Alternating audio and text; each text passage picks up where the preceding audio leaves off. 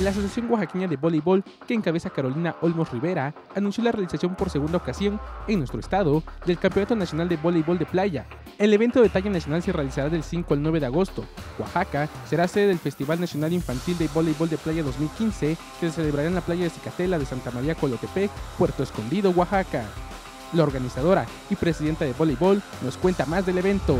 Pues mira, yo espero pues, la mejor de las actuaciones no, ya hablé que en relación a lo deportivo es, importante, ¿no? Pero en relación al evento, al que sea todo un éxito, en organización, en atender a la gente, en lo deportivo, que estén contentos, en buen arbitraje, unas buenas canchas, unas buenas instalaciones y que la gente que, se vaya a Puerto Escondido, sean deportistas, entrenadores, organizadores, se vaya muy contenta, muy contenta y con muchas ganas de que en Puerto Escondido probablemente se lleve este año una etapa del Tour Nacional de Voleibol de Playa por la buena participación que espero tengamos.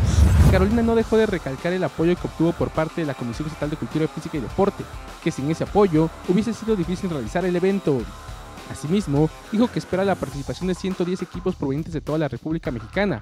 Por ello, se instalarán 8 canchas en la playa. Yo creo que alrededor de unos 120 equipos. Ya tengo gente que me ha llamado de Yucatán, que viene en un carro completo, de Veracruz, van a venir de Nuevo León, del Distrito Federal obviamente, de Acapulco, está pegadito, no se diga, los que participen de Oaxaca, de Campeche, de Tabasco, también vienen de Guadalajara, de Morelos y, como la convocatoria, como la inscripción se cierra 10 días antes del evento, pues la verdad es que pues sería mentira decirte totalmente quiénes, pero cuando menos hasta ahí la participación ya va, de gente que ya habló, gente que ya confirmó hoteles y pues eso debe ser muy halagador para mí.